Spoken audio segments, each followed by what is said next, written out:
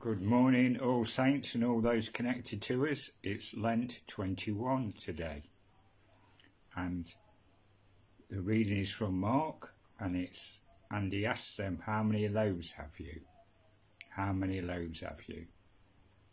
And it's the the um, miracle of the feeding of the five thousand, where Jesus feeds five thousand people with a few loaves and a few fish and uh, feeding people's important and um, food banks are, are important.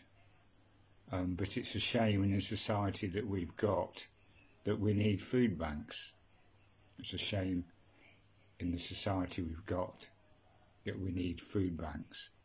But also there's a great spiritual hunger throughout the world and especially in this country a huge spiritual hunger and spirituality is really important to people.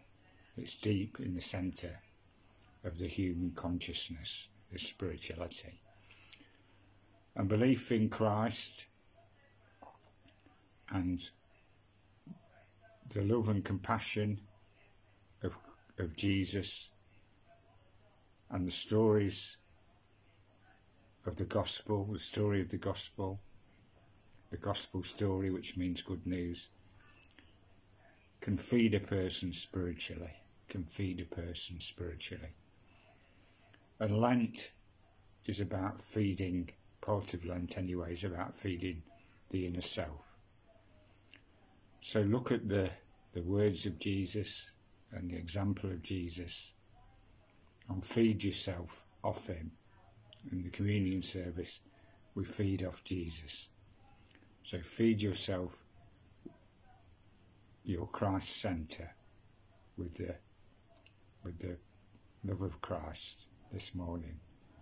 Um, we can't meet as we'd like to meet. We can't see people as we'd like to see them, but we can feed ourselves spiritually, our inner selves, with the, with the love and compassion and words of Jesus Christ. The Lord be with you, and the blessing of our Lord Jesus Christ and the love of God and the friendship of his Holy Spirit be with us now and always. Go in deep peace over Lent and feed yourself with the Lord. Amen.